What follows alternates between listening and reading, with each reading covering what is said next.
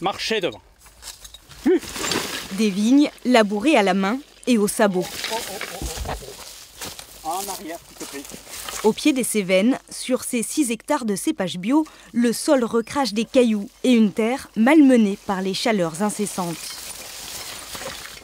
Elle est sèche, euh, moins, que, je ne le pensais malgré tout, parce qu'on on voit très, rapidement la différence entre ce qui est remonté, qui est plutôt noir, et ce qui commence déjà à sécher avec le vent et le soleil d'aujourd'hui, qui, euh, qui est un brin beaucoup plus clair. Mais on reste sur, euh, sur un sol sec pour la saison. Cette vigneronne a perdu 30% de sa production à cause de la sécheresse. La qualité de son vin n'en est pas altérée et les commandes sont encore au rendez-vous, des demandes spécifiques à l'été indien. Atypique, Là, maintenant, on demande de plus en plus, eu égard aussi au climat, euh, des chaleurs de plus en plus euh, pérennes, euh, on demande des vins qui sont digestes, euh, qui accompagnent les, les plats et les mets, puis on a envie de, des vins qu'on boit et reboit. Quoi. On se resserre un canon.